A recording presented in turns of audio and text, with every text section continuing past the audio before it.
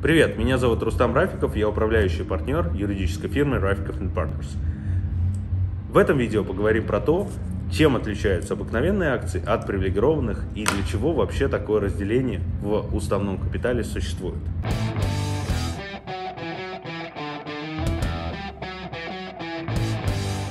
Меня часто забавляет, что э, среди российских фаундеров, предпринимателей из России нет такого понимания глубокого о классах акций. Связано это прежде всего, что, наверное, сейчас в России одной из популярных форм ведения бизнеса это все-таки ООО. Хотя я вижу, что многие команды делают акционерное общество и привлекают э, уставной, э, в деньги в уставной капитал так же, как это делается в США, то есть через корпорацию.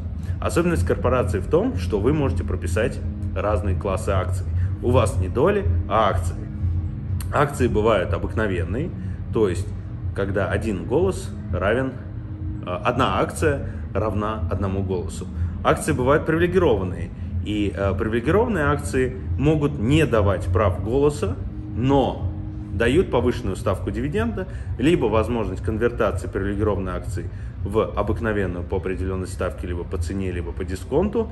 А, и в целом а, основной подход при продаже привилегированных акций в том, что инвестор покупает привилегированные акции, становится соучредителем компании, но не имеет права голоса. То есть он не назначает совет директоров, а, состав фаундеров не меняется, не меняются органы управления и, в принципе, инвестор не влияет на принятие важных каких-либо решений, он остается вашим акционером. Если мы хотим проиллюстрировать этот пример, то э, всегда очень показательный э, кейс э, компании Tesla.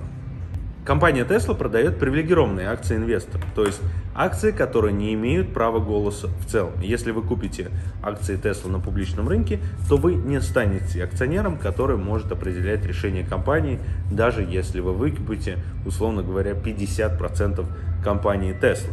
А с привилегированными акциями это невозможно.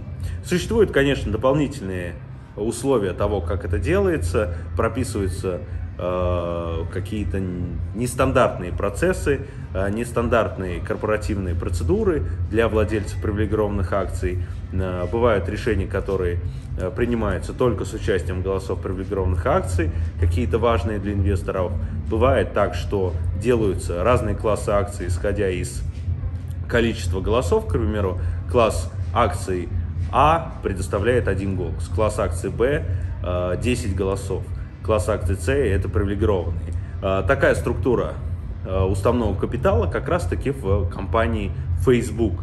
И Марк Цукерберг, а, формально владея около 30% компании Facebook, на самом деле обладает экономическим и голосующим пакетом гораздо большим, чем эти самые 35%, то есть голосов у него больше. Ставьте лайк, подписывайтесь на видео, если вам интересно и я расскажу еще больше полезной информации.